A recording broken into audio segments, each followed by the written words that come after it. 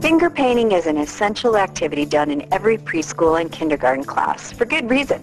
It helps get those finger muscles working as a precursor to early writing skills. It's a great way to calm an excitable child and a very satisfying art experience. With our Finger Paint Sensations kit, we take finger paint to a whole new level by providing safe materials that can be added to finger paint to make finger painting an over-the-top sensational experience.